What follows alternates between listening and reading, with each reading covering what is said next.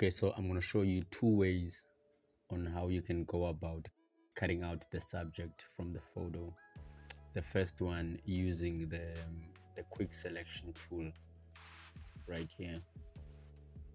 I'm just going to click select the, the pen tool draw without quick selection you know around our subject. You see it's very quick just like that and then to take out the parts that you don't want you just alt you, you press down alt and then draw around the place that you don't want. Just zoom in a bit. Let's add a little bit of his face on the side.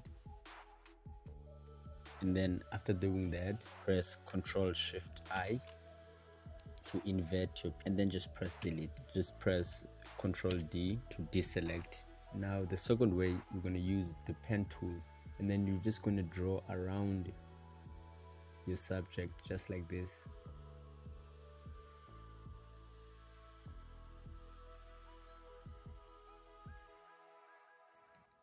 And then you just close it. When you see the circle right there it means that you're closing it. You right click and select make selection and then just press delete the background. See you guys in the next one. Peace